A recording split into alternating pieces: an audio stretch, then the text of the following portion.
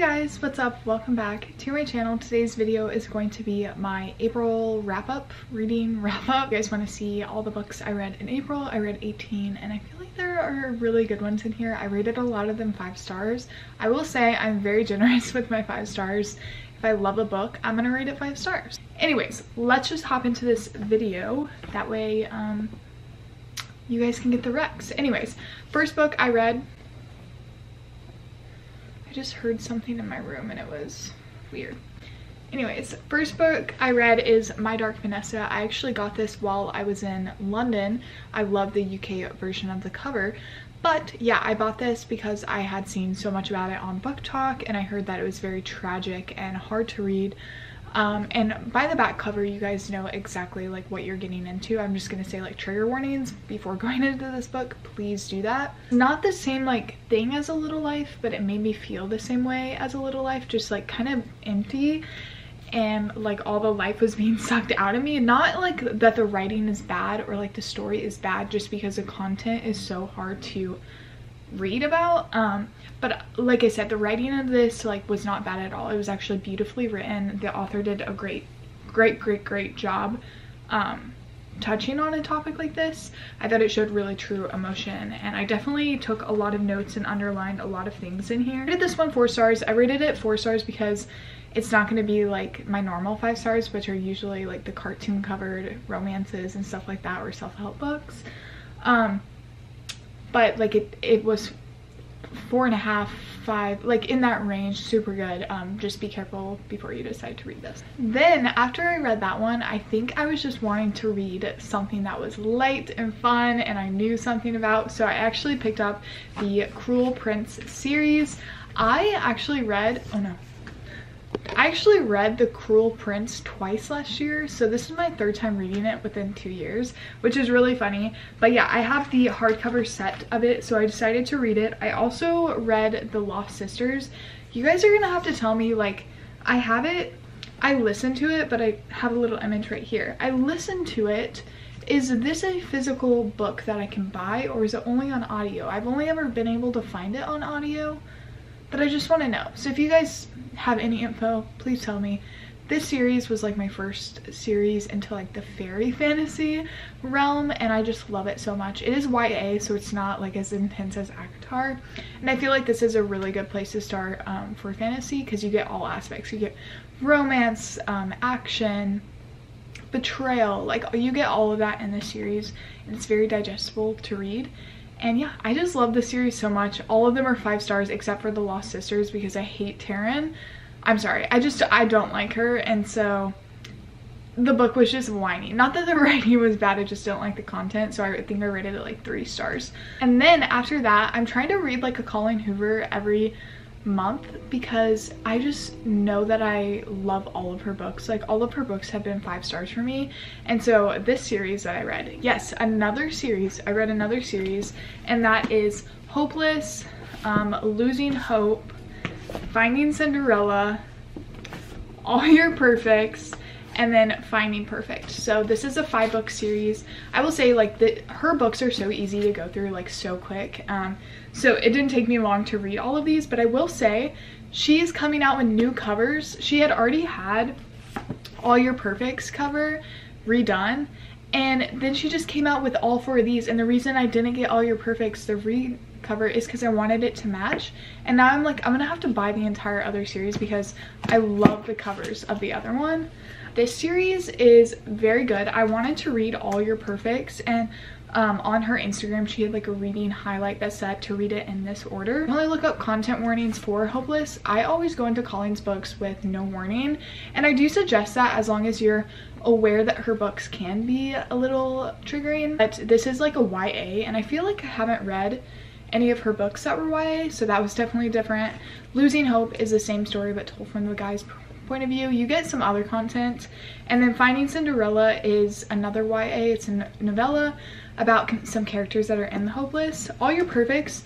I heard so many like mixed opinions about this. Some people love it, some people hate it. And it's because it's technically a cheating trope. I'll just say I don't think this is a cheating trope romance. I think it's I, am not gonna, I don't want to spoil it, but I don't think that's the main plot of this at all. I will say the characters are a little bit unlikable, but in this novella, I feel like you get to see them, and at the end, it's just redeemable. And I actually really like this. I cried when I read this. Um, I just thought it was a really tragic, beautiful love story.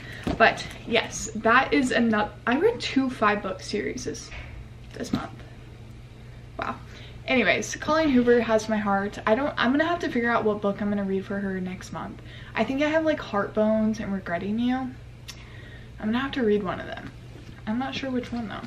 I think i left a book somewhere in my room but i'm afraid to get up because my camera's like balancing. I'm on my bed right now. So for my nonfiction i read gospel 101 by jeff dodge. I'll just insert an image. It is just basically a workbook to tell you how to share the gospel, what is the gospel. I thought it was really good. I rated it five stars. I think it's a really digestible way to get into the gospel and I feel like I really want to become better at sharing it. And so I think that class in the book was really helpful. This is actually technically a nonfiction. Well, it's hard because this is based off of a fiction story, but these are the scripts for the TV show. So is this considered, are scripts considered nonfiction? I don't know. Anyways, I don't even know whether or not to count this. I'm going to because I read it from cover to cover. Essentially what I did is I rewatched the show with this in my hands and just like read it while it was happening. Of course, I didn't read every line, but um, yeah, I love Sally Rooney. I will say I read Normal People last July and I didn't like it. Like, well, I liked it, but it wasn't my favorite. And then in March, I read all of her other ones. I read Beautiful World, Where Are You? Conversations with Friends, um, I read Mr. Salary and I love I love her. So I don't know what happened last July. So I felt like I needed to get this, rewatch the show. I love the show by the way. I just didn't I didn't connect with the characters when I first read it, but I think that may have been like where I was in my headset. But anyways, love this. I rated it at five stars. Next we're getting into all of my digital books. I read a lot of digital books. I think I read six. So let's get into it. My favorite book of this month is Archer's Voice. Oh gosh. It was so good, guys. I, I my heart broke like three times throughout the story and five stars immediately, five stars. And I just want to say you have to read it. You literally have to read it.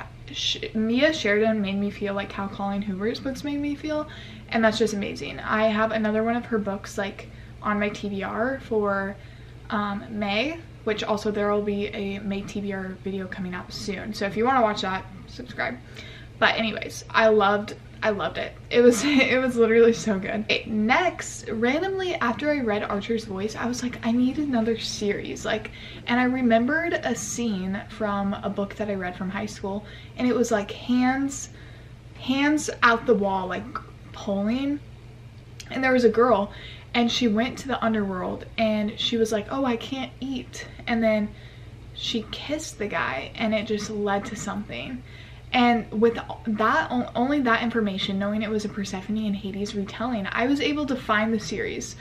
I will say i searched and i read an entire series before i remembered the actual one. So this series is the one that I thought it was, but it turned out not to be. But I had read this series before. Anyways, these are two series I read in high school. Both of them are Persephone and Hades retelling.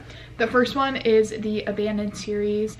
There are three books in this. I read all of them, Abandon, Awaken, and Underworld. I will just say the series is not that good. Um, but I personally enjoyed reading it because it reminded me of when I was like 14 or 13 reading it for the first time. And so it was very nostalgic. Not again not the best series. I wouldn't recommend it if you're looking for an actual persephone and hades retelling but it was really fun to read. After i finished that series i remembered the actual series with the scene that i just described to you. I immediately bought it and i've read the first two. I'm halfway through the third one and then there's a novella and i never knew about the novella so i'm very excited about that but it is the Everneath series and I was like, oh, I didn't really like the Abandoned series now as an adult, so I probably won't like the Everneath. I rated both of them four stars, guys. I think they're super good. The writing is great. Um, I've read the first two, and like I said, there's two more that I'm going to be reading, and they're super good. Guys, I think that is going to be it for this video because that is all the 18 books I read this month. I did not realize I read 18 books. That is a lot. I don't know how I did that because school has been crazy, but I think it I think it's generally because of my iPad and since I read on Apple Books, I have it on my phone and on my iPad and I can just read like when I'm walking to class or like waiting for class to start. I'm just always reading right now and I really like it. Um, I will say, I do buy my books on Apple Books instead of using Libby, so that's not good, but we'll get it figured out. We go ahead and go. Thanks so much for watching. Let me know what you guys read in the month of April. I'd love to hear love book recommendations. And yeah, I will see you guys very soon. Peace and love. Bye guys.